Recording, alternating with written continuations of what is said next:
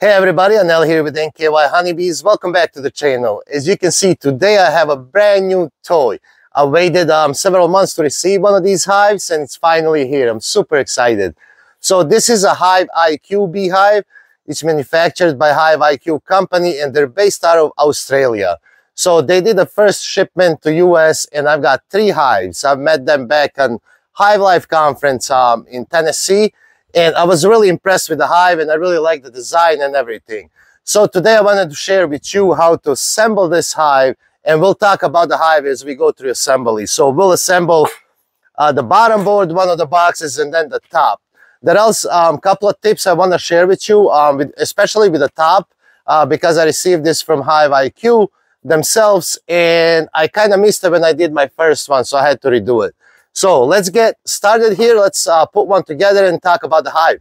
All right, guys, so I got the setup here. Um, I do want to point out, this is a polystyrene hive, as we call it, poly hive here in US mostly, and it is not a wooden hive. So there are a couple of things you have to take in consideration. This is a high dens density poly hive, and on their website, it says that it's six times or more, six or more times more insulated than a wooden hive which I truly believe. I'm sure they've tested them many times, but I do believe it because this is hard rock high density hive or uh, material, I should say.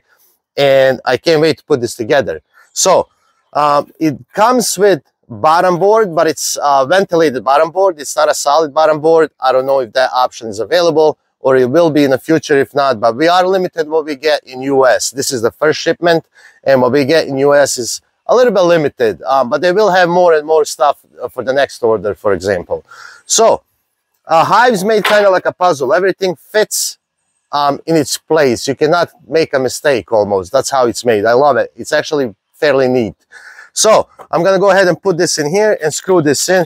The screws are labeled Hive base, um, Hive body, and top cover. I love that. I love that they actually tell you how to, which screws to use. So let me go ahead and screw this in and then we'll move on.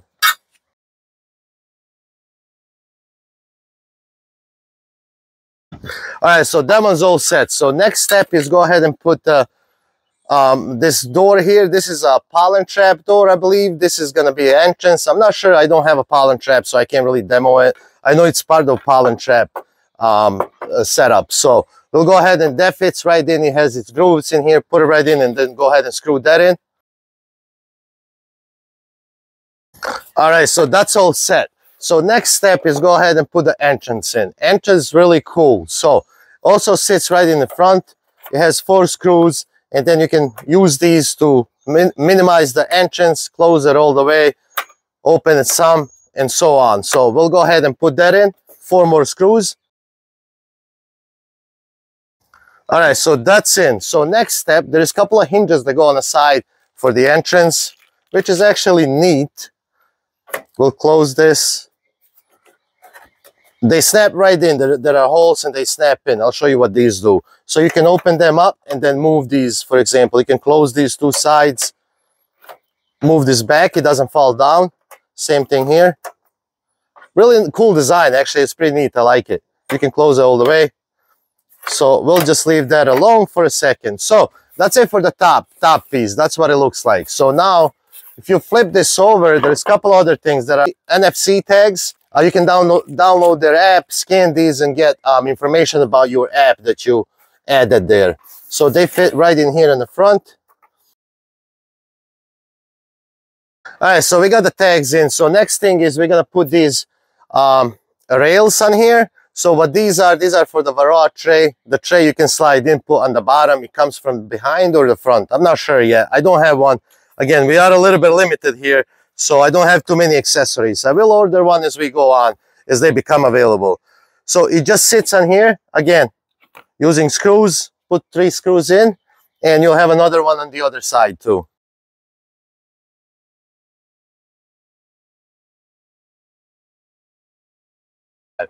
So that's it. That's it for the bottom board. Simple as that. Just a lot of screws. If you use a screwdriver, it might take you a little while. Maybe that's recommended. I'm not sure. But I don't mind using a drill. It just makes things faster. So we'll put this aside and we're going to move on next to, uh, actually, we're going to assemble one of the boxes. All right, so we're gonna go ahead and assemble one of the boxes. So I've prepared here what I need for one of the boxes. Basically, two short sides and two long sides. That's all we need. Uh, so these are pretty cool, actually. So these protect you from hive tools and everything on these boxes, and they also click in. So they they actually click into each other um, to eliminate the draft between like a wooden hive has um, going around the hive. So um, again, this is like a puzzle. All the pieces fit in, they just slide in. So this is really easy and well made. So that way you can't really make a mistake. So you have a top and a bottom. They are uh, a little bit of difference. Oops. A little bit of a difference uh, when it comes to size. See, they just slide in. Hopefully you can see that. So the profile is lower on one, the bottom one. So we'll go ahead and do that on another one. We'll do the same thing. Just slide this right in. Oh, that's the wrong one, see? How can you tell? Because they fit perfectly. Snug, just like that. And the last one on this side. Yep, they come right to the middle and that's it for these two. Well, not, that's not it. We got a couple of things, the corners we gotta put in. So the corners go again, they can only fit on the right side where they're supposed to be, which is really cool. Now, just working with this, this is super thick. I, I believe it's 1.6 inches thick, and I can definitely see this being well insulated and better than a wooden box. But we're gonna test it this year and see how things go. I'll have um, all three of these full of bees, and we'll see how it performs. If I can find the right one here. Here we go. Slides right in, and then we need the last one. I guess this is the biggest confusion, is just getting these, getting these corners in. Here we go. So that's what it looks like. So let's do the other side too. All right, I had to go find another piece. I had the wrong piece here. So these are a little bit different profile than the bottom ones. Same thing again. So the next thing, once you have this um, put together, only takes a couple of minutes. You want to add some glue. I usually add glue down in these um, grooves here. And then I'll put the side in. So let's go ahead and do that next. Um, I don't think you want too much glue, to be honest because you are using screws to screw these together. So it's up to you, but I wouldn't put too much because you might have glue coming out all over the place. I'll just put them in all six holes or 12 on both of these. All right, make sure these are in.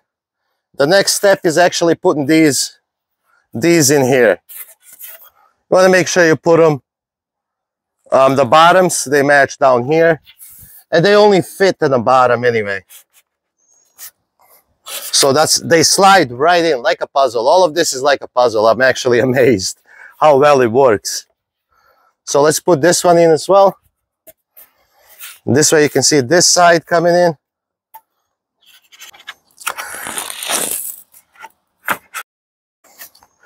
See how that slides? I'll move this. That slides right in here in these grooves and these corners and closes right up.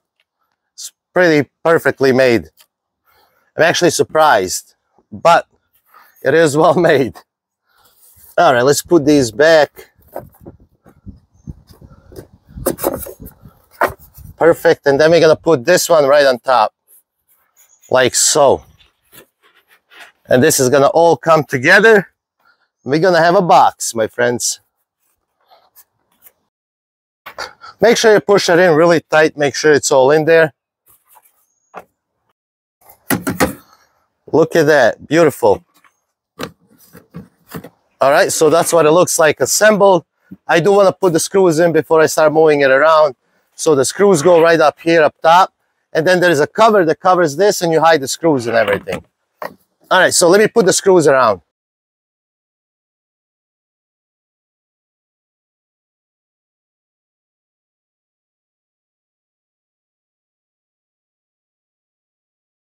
All right, so this box is done and that's what it looks like when it's done. It's awesome. There is a couple of things we gotta add on these other edges, which I'm gonna do right now. So let me take a look. This is the top. So the top and the bottom is a little bit different. They recommend you start out here from outside. Put this in here. When you're putting this, you should just snap in. There you go. See, snaps right in. Let's do the other one. Here we go. One box is done, my friends. So we got the bottom board and one of the hive bodies done. Beautiful. It's really strong. Like when you touch these, these are really, really strong. It looks really insulated. So next thing we're going to do is we're going to move to the top and then we're going to talk about the final um, product in the hive. All right, so there's the last part, which is the top cover. Um, this is a pretty cool top cover, actually. If I can get it out, here we go. This piece here is metal, and then this is poly. So, the way you assemble this in the bottom, you would put these plastic uh, edges on. I believe these go on first. Again, fit right in and they they go on here and then they get screwed in here here we go they fit right in ah maybe i should put these on first here we go. Yeah that might be easier. Just make sure they sit in really good. Here we go. And then I'm gonna go ahead and take these screws and screw all of this around and then we'll go to the next step.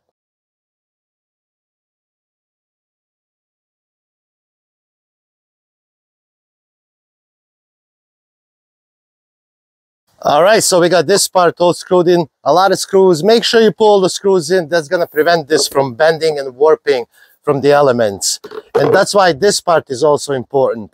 So what they're asking us to do is actually go ahead and take this lid up here but before you put it on you should glue this put some glue again in here like you did in the hives put it right over here um, if you haven't you probably received an email they sent out um, actually reminding people because for example I missed it the first time didn't read all the instructions you know happens all the time and that's gonna keep this from bending or warping um, from the sun and rain and so on so let's go ahead and add add some glue in here so what I'll do, I'll just go through here. Not too much. I wouldn't add too much glue.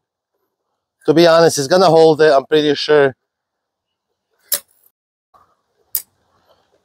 And when you press this down, it's gonna also um, spread this out. Just a little bit here. I believe this should be it. I don't know. Maybe I'll put a little bit in the corners here too. I think corners are really important just to hold this down. So put some in the corners. It's not gonna hurt.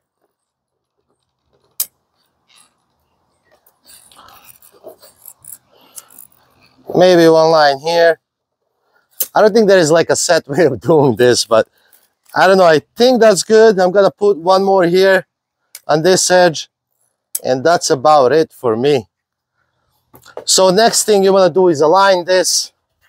It aligns with this. There is a sign here, Hive IQ. Align it and go ahead and place this down. Press this down really good so the glue catches everywhere. And if you have something like a cinder block or something, put it on here. Let this set in real good. I'm to put one on, but right after the video. So that's it for the assembly for the top. So let me put the hive together. Then I'm to give you a couple other things I learned about this hive. All right, guys, as you can see, it's a simple assembly. Everything fits together. It's like a puzzle. I really love it. It's really, really well made. That's what it looks like when it's all uh, said and done. When you order one for the US market, what you get is three of the boxes. They hold nine deep frames. They're not eight frame or 10 frame. They're nine deep frames. Each box holds that much. And it does come with a bottom board, top board, and does come with a queen um, excluder. A metal one fits perfectly in there. I love it. So the quality on this hive feels extremely well made. And I'm sure this is going to insulate the bees a lot better than the wooden box, in my opinion. Um, these um, here, these plastic things, they click into each other, which eliminates that draft that goes in between there.